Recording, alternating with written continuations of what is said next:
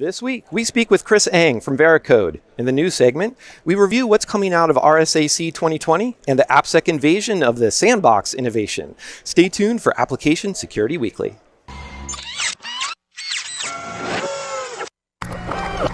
This is a Security Weekly production. It's the show to learn the latest tools, techniques, and processes necessary to understand DevOps, application security, and cloud security. Your trusted source for the latest application security news. It's time for Application Security Weekly. With 84% of cyber attacks targeting the application layer, securing your software is more challenging than ever. Synopsys enables DevSecOps with a portfolio of industry-leading tools including Coverity, Black Duck, and Seeker to help you build secure, high-quality software faster. Synopsys is the leader in application security testing. Visit securityweekly.com forward slash synopsys to learn more. Nearly every business today relies on mobile applications, yet the vast majority do not adequately secure them. Once downloaded, mobile apps escape your control outside the secure network perimeter, thus making them easy targets for hackers. Enter GuardSquare. From the makers of ProGuard, GuardSquare integrates transparently and seamlessly into the development process, adding multiple layers of protection to Android and iOS applications and effectively hardening apps against both on-device and off-device attacks. Request a demo today of GuardSquare at securityweekly.com forward slash GuardSquare. The question is simple Have any of the systems on my network been compromised? The answer is harder than it should be. Enter AI Hunter. Active Countermeasures has automated and streamlined techniques used by the best pen testers and threat hunters in the industry to create AI Hunter, a network threat hunting solution that does the first pass of a hunt for you to identify systems that are most likely to be compromised and scores the results on a scale from 0 to 100. You can then research those systems in depth with AI Hunter. Focus your valuable time on the systems that need your expertise with AI Hunter. Sign up for a personal demo today at securityweekly.com forward slash ACM. Welcome to Application Security Weekly. This is episode 97, recorded February 24th, 2020. I'm your host, Mike Shema. I'm here with Matt Alderman. Hey, uh, we're recording live from RSA conference. Like, come on, this is fun. I can throw to you with eye contact. This is great. I know. Yeah. You know, we've never been together to record yeah. uh, Application Security Weekly since we made the switch. So we're all sitting together going, wait, we, we we're, we're like all sitting next to each other. Yeah, exactly. And we've got John John Kinsella yeah, with us. So yeah, you're on my it. Skype. Yeah. it only took 97 episodes. right, only 97. what the hell were we thinking? Maybe this thing is going to catch on. Maybe, yeah, I think so.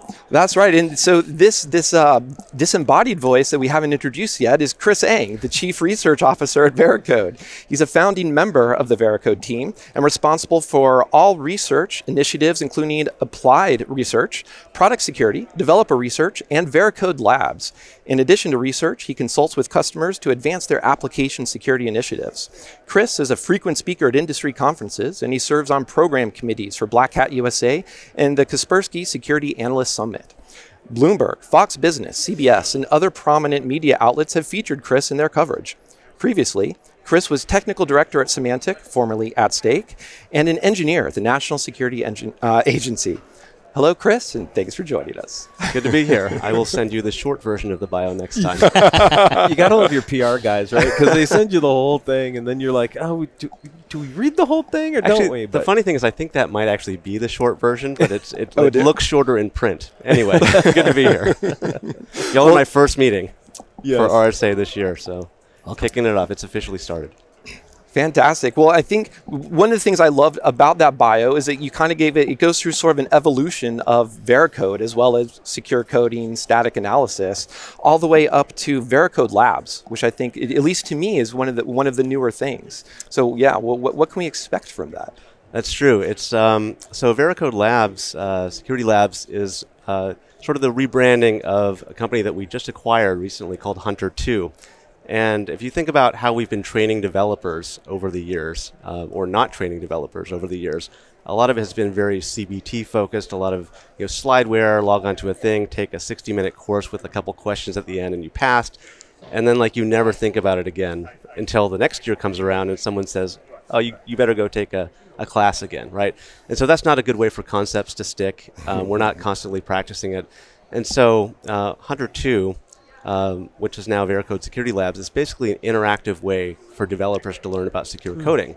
And so if you imagine an environment where you sign into a website and you've got a list of courses just like you would for CBT, but instead it's it's interactive. It's spinning up a live environment. It's kind of stepping you through. Well, here's what this attack looks like.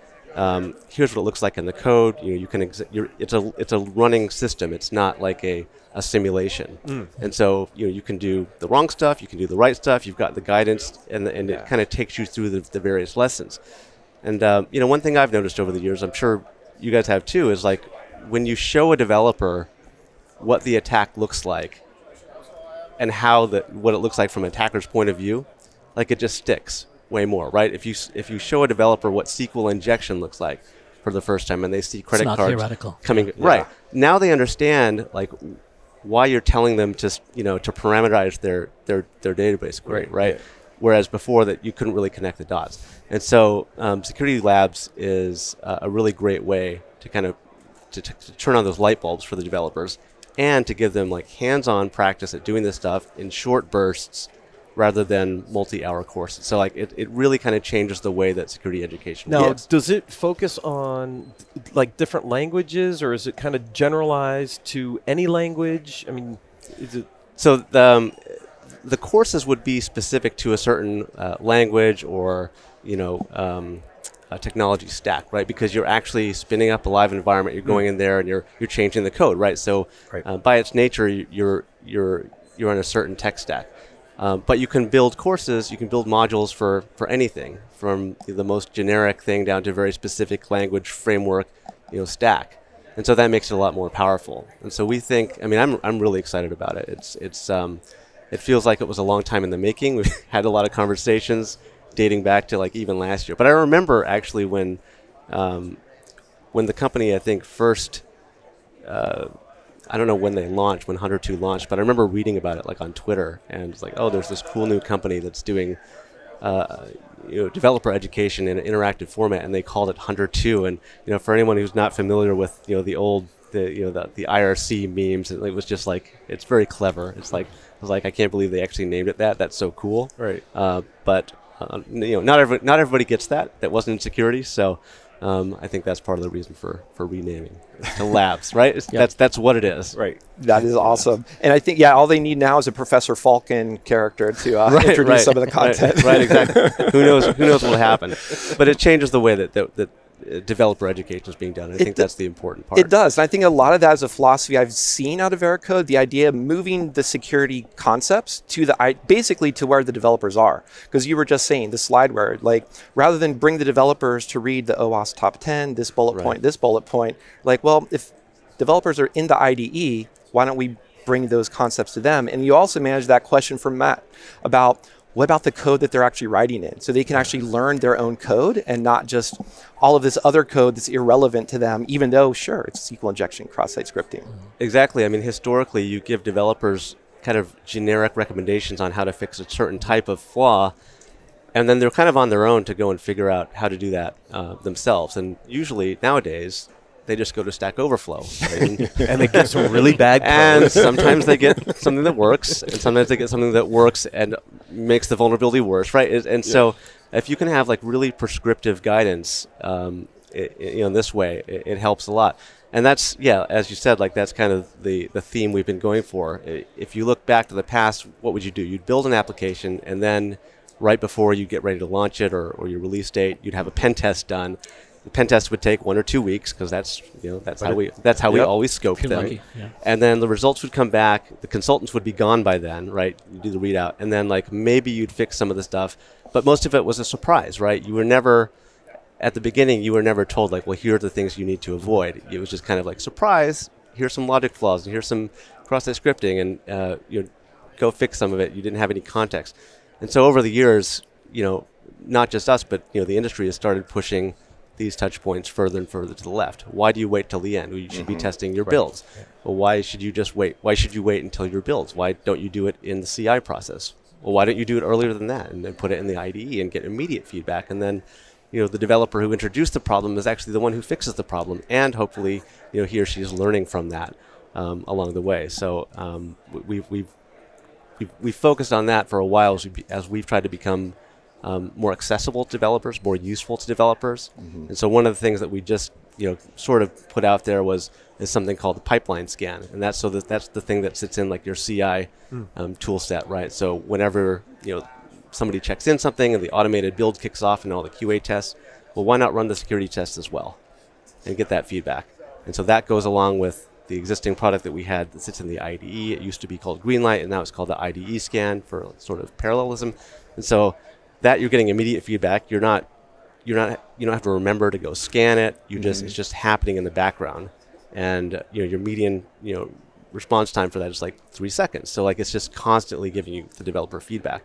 And then happens it happens in CA, CI. You find more stuff that you wouldn't have found because multiple people's code is coming together, right? Right, So you find stuff there, and then you fix some stuff, and then eventually you get to that that policy scan at the end, and you'll still find stuff, right? Because again, you're merging code from lots of different people, but you're finding less because you fixed a lot of it earlier. And so the more that we can move that stuff to the left, fix it faster and cheaper, um, the better, and the, and the less the developers are pissed off. Yeah, and it's got to be great to go, especially too, without immediate feedback. You actually are getting feedback to the person who committed the code, who's in the place to fix it, rather than Right. like the security team reading the PDF, opening those Jira tickets, figuring out who to assign them to, so Right. that you know that other one. and, to and it doesn't even go to the original developer. It goes to like the sustaining engineering Yeah, team, right? And they Yep. who has no idea how the code was necessarily written in that particular case, and I have to figure out how to fix this. That's bug. exactly right. Yeah. Yeah. I mean, I remember. Yeah. It, uh, I mean, Veracode's the first product company I've worked for. I mean, I've been there for like 14 years now. But uh, early on, I remember when I realized like that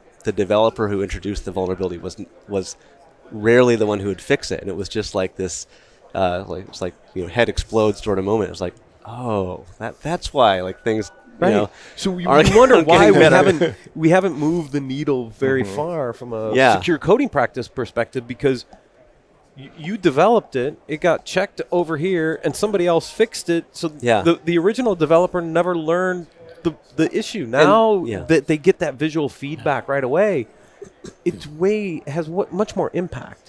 Yeah. really changing the behavior and learning through that process. You have no feedback loop otherwise. Right. And and a lot of companies obviously are still doing it that way, right? I mean, you you you pretty much can talk to any company and they are doing DevOps or they are doing Agile to some degree, but you know, a lot of times it's just like this little corner over there and the rest of it still is you know, like a waterfall or, or you know, a sort of agile-like thing, and you have no feedback loop, and it's the same deal. So, um, you know, it's interesting. We, we talk sometimes about how DevOps is, is going to be a challenge for security teams, like the, how, how things are moving faster and you're releasing more often. But, you know, the, the as we've been forced to adapt to that, we, we have a, you know, we've taken in one of those, one of those main tenets of DevOps, which is the, the necessary uh, right to left feedback loop. And so just like they're doing that and improving their processes and the way they work, that right to left feedback loop for security findings is there as well, and, and people are open to that. So DevSecOps can actually make it security easier if done right. It With can. that integration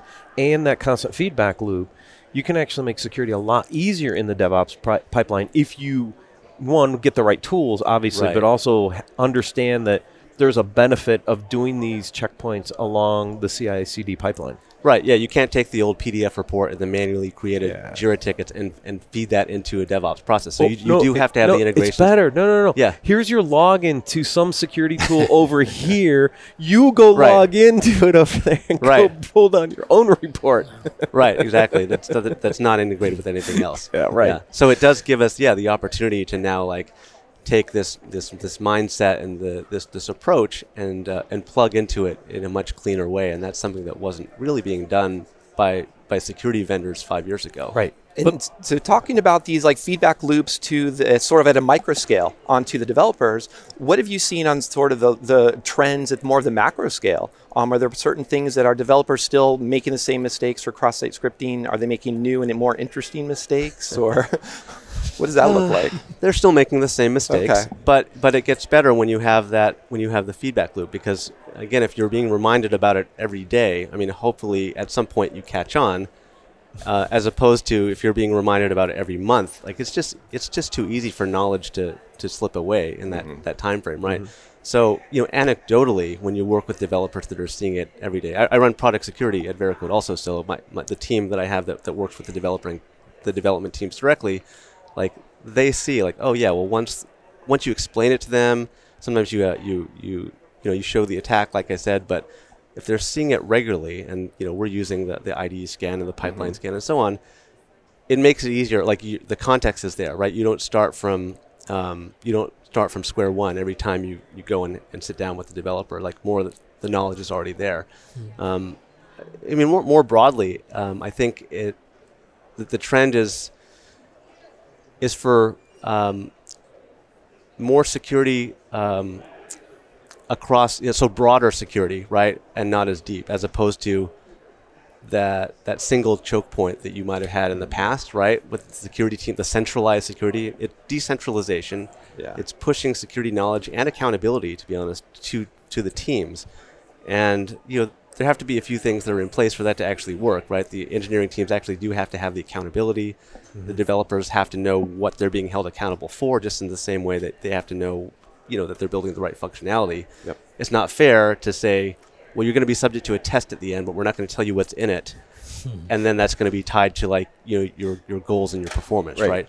And so making it more visible what they're accountable for, what the security requirements are, giving them the tools that are necessary to do that, and not slow them down, like that sort of decentralization, and so that you get to the point where you still have a security team, but you um, you only escalate to them certain things, right? You know that okay, well, if I'm implementing something related to crypto, like maybe I should ch- check with the security team, or if there's a new authentication flow, bring that up, or if I'm integrating some other product, you know, bring that up. But for the you know the daily routine code reviews, you want to push most of that down to the team and train them to be able to do that, and that's I think the only way that that security really um, survives in a way that we want it to, right? Right. So I'm Yeah. curious, since you're doing that, then also a little bit of the product side um, over where you are now, are you seeing what type of feedback are you getting from the developers? Are they saying like, "Hey, we want to see more of this type of security, either education, or are there certain areas where they're asking you guys more more details for?" Or For the most part, developers are still not asking for more security stuff. I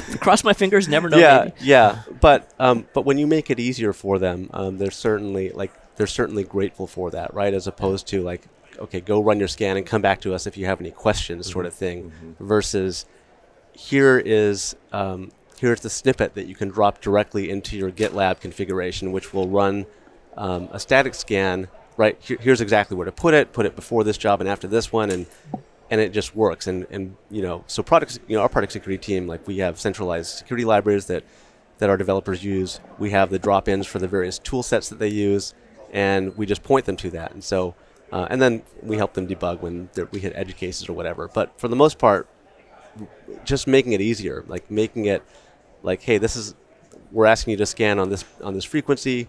Just drop in this code snippet. It really should only take you 15 minutes to do that, and and they are thankful for that because then they can get the benefit of it, um, and then go on to their to their to their other work. So, so then here's one off that that I've I've had customers asking me. Once you have those tools available, and even if you're giving them those snippets, how do you ensure that all the teams are actually doing the scan on that frequency? Yeah, well, you still have, like I mentioned before, like the policy scan. Yeah. So you still have that that that whether you you can make it a gate or you cannot. It just depends on what sort of organization. But you guys have. are still checking. But you at a high still have Yeah. that. You still have the analytics that come back, right? So I can kind of see um, in the centralized view in our in our platform. Well, here are all the apps that are that are part of you know Veracode, and um, if one hasn't you know scanned in the frequency that they're supposed to, that'll that'll cause a fail, and we'll see it. You know, you know and, and the product security team can can look at that. And so we still have visibility. I mean, the visibility is obviously still important, right? If you're a CISO or if you're a product security lead, you still need to know what's going on, but but you don't need to get in the middle of every transaction. You don't have to be the bottleneck. Right. And so that's the, the trade-off. And right? if that policy scan fails, you can fail the build and kind of force it back through the process if you need right. to. But you can you can do what you can do what you want with it. You have the tools to do that. But um, what what what happens is they do find more stuff earlier, and they get to it. You know, they're not waiting till the end of the sprint or, Right. or whatever. They're they're getting to it earlier, and so there are fewer surprises. Um, and you can actually go to develop the, like the development organization and say like, all right, from this from from, from particular date forward, like no new security debt, right? The idea that you know if you fix if you introduce flaws and then you say, well, I'll just fix those later, right? Right, right. We know that doesn't actually happen, so you can actually say no more security debt, and so when they see those issues come up in their IDE or in their pipeline, like they know that the engineering leadership is behind that, that security is a priority, and um, they're not allowed to let that stuff pile up. So when you get to the policy scan, you find you just find a lot less that way because they're, they're fixing it early. I mean, it's, it's great. Not without its challenges, of course. It's still it's still very difficult, but um, the, the tool sets make it easier. Yeah, definitely. No, I think speaking of challenges, that I, imagine that the tool sets at least make it easier to have that discussion about getting engineers to take on the accountability. Um, what have been some other ways that you've approached successfully, or even for that matter, some you know mistakes to avoid in the future of getting that buy-in from those engineering teams, so you can actually decentralize and spread that accountability for security? Yeah, it's it's hard. I mean, rolling out a security champions or security ambassadors type program where you're trying to decentralize that. A lot of times, you're asking people to do more on top of their existing Yeah, job right. responsibilities, and so like, if you really want to get that working, you have to have an understanding with the engineering leadership that okay, this work is actually important, and they should allow that person, whoever they are, to to uh, to squeeze out you know ten percent of their you know even five percent right of their of their weekly um, time to allocate to doing code reviews or to just making sure the integrations are working correctly or, or whatever the case is. If you don't have that, then basically you just turn someone's job from like 100% to 110% of their time without giving them anything back for it.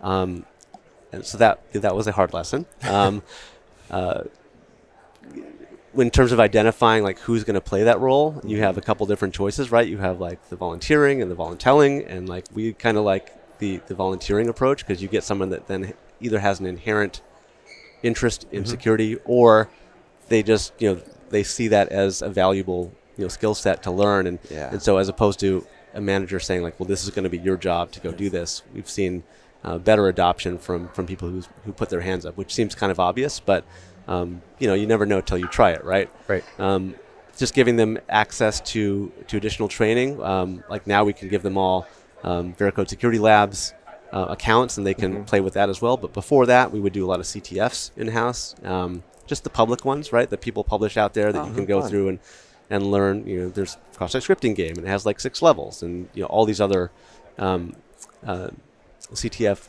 uh, type things out there where you can kind of teach the developers a little bit about the offensive side of things.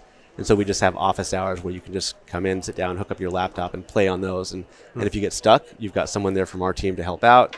Um, so there's all these like little ways that we try to sneak learning in that are not sort of the formal training.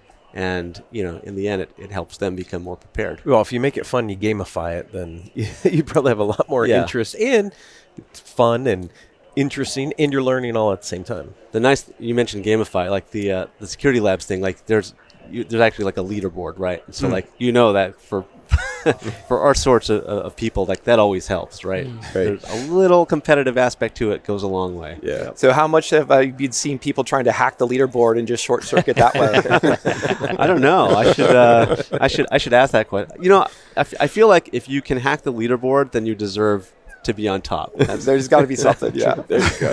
I feel like you've earned it at that point right.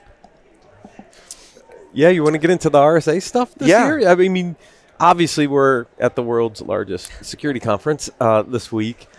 W- kind of what's new? What should people expect when they go find Veracode? First of all, where's your booth? Uh, it's five five five three, I think. I'm glad you have the number Okay, I do it. Moscone North, booth number 5553. But what will they see when they come over and see Veracode? It depends on which day they come and see us, but but um, uh, there may be dogs certain days. I heard there might be dogs there. Yes. But uh, in general, so we're we're now um, sort of just past the, the one year mark of, of being an independent company again, and going along with that, and just going along with all this this development, um, this DevSecOps thing, uh, we've kind of done a little bit of a rebranding, and um, you'll see some fresh new colors. You'll see um, you'll see a lot of the verbiage be, you know.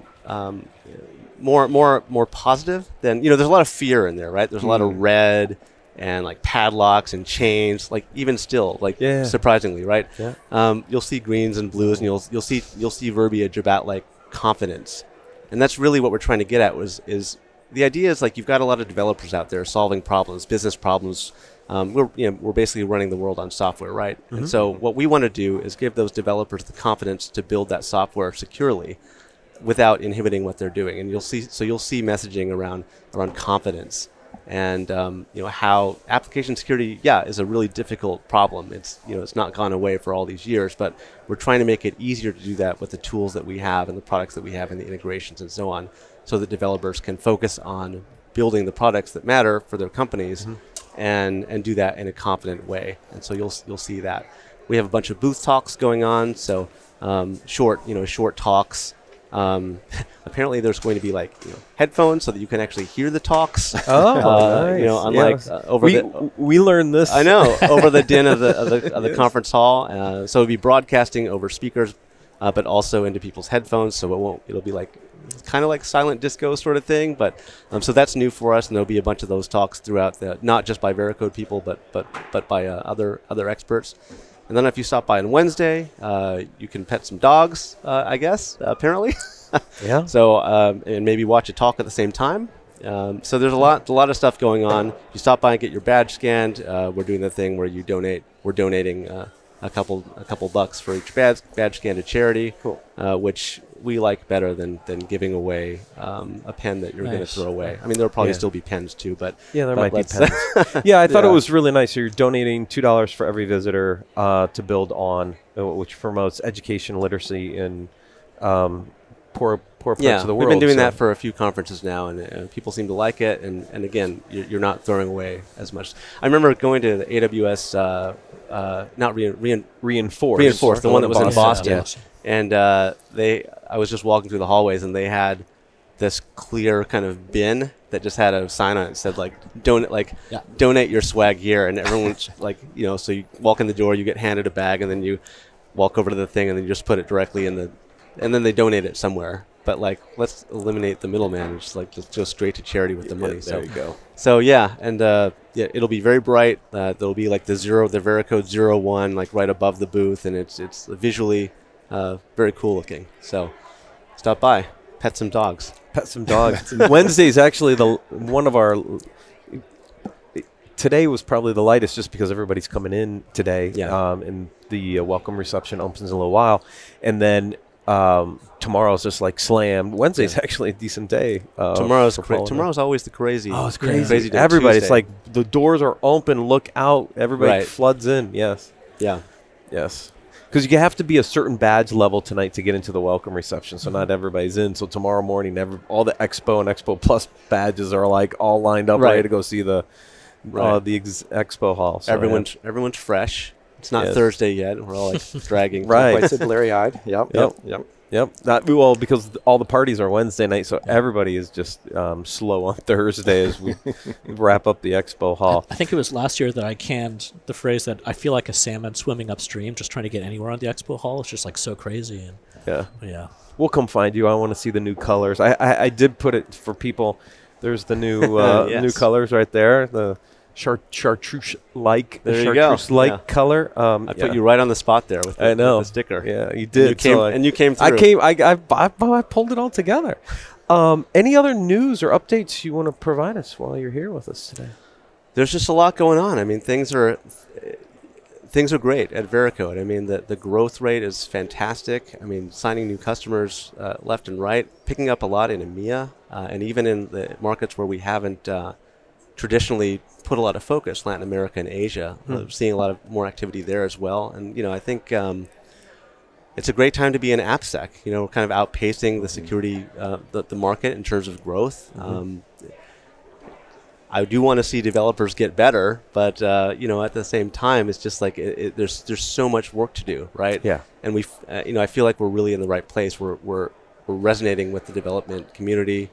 We're providing the right types of tools. We're you know we're, we're not we're not kind of stuck back in the way that that you know we used to do security, right? That, as an industry, and so uh, it's it's still despite having been you know with Veracode now for you know 14 years it's still an exciting place to be. Things are still changing. Obviously, there's new frameworks and languages all the Oh, time, yeah. new attacks. You know, it never gets boring. So, really excited about um, about where things are going. As software eats the world, there's a lot of code to get secured. There, there is a lot of code, and uh, it's not you know it's not going down. Every every company is a software company, whether they realize it or not. Mm-hmm. And so, it's a good place to be. It's awesome. That's awesome. Yeah, and we and love to see the fact that you're changing the tone of that conversation with developers too, bringing that collaboration, bringing that context uh, to them through the IDE, through the labs, through all this training. That's it has neat. to not be adversarial. It Yes. has to like we have to get away from that. know, Clearly, it hasn't of- worked for 20 years, so Right. Let's try something, different. Yeah. yeah. Uh, yeah. Exactly. Wow. Yeah, we have to we have to like play nice together and and um, you know make everyone's job easier. But like you you know I was reminding people like you know you're you're not at you're not really at odds. You're not you know security team. You're not fighting with development team. Development team. You're not fighting with like you all work for the same company, right? Right. You're all you know your paycheck comes from the same place. You're trying to you know you're trying to push the company forward, and so you have to remember like always assume best intent Yes. there, even though sometimes it's hard. Absolutely. And we always and we, we thank your intent for coming here and give, sharing us about Veracode. That was some uh, some great things that we've learned and some good things to look forward to at booth 5553. Five three. There we go. So that's how we'll find you and somewhere within the uh, sw- swarms of uh, RSA. Yeah. Thanks Always good to again, chat Chris. with you guys. Thanks, Chris. Thanks, Chris. And thanks, Matt. Thanks, John. And um, we're going to take a quick break and we're going to return with the news of the week.